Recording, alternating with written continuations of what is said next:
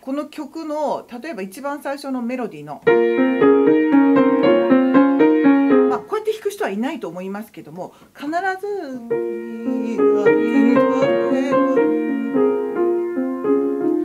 何を言いたいかっていうとこの「シーラシード」っていうまともにこうタッチを上からこうあのただツンツンツンじゃなくてできたらこの最初の音が出た時からも音が動き出すっていう感覚ですね。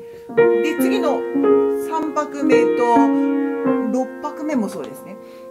からもうどんどんどんどん次に音の響きを受け渡していくっていう感じでそのタッチをやるためには必ず音をそこで逃がさなくちゃいけないんで、ね、手首のこの動きっていうのを絶対に止めないでください。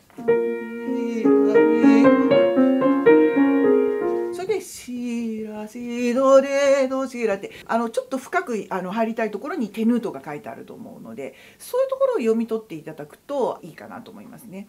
できるだけね指のパターンっていうのはコードに従って同じ方が弾きやすかったです。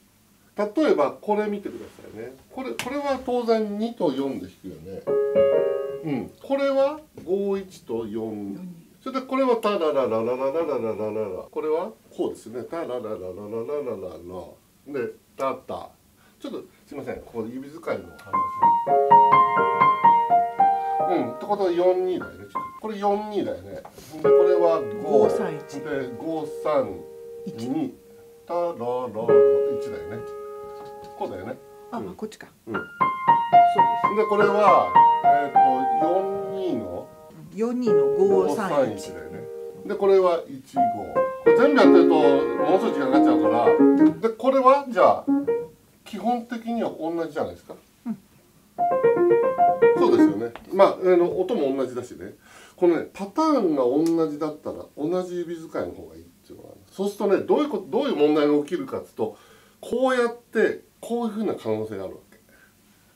あのちょっとちょっとこれやってみましょう。タララ。これどういう指使いでますか？そうですよね。そうこれは三で始めえっと三。一三で。一三で始まるよね。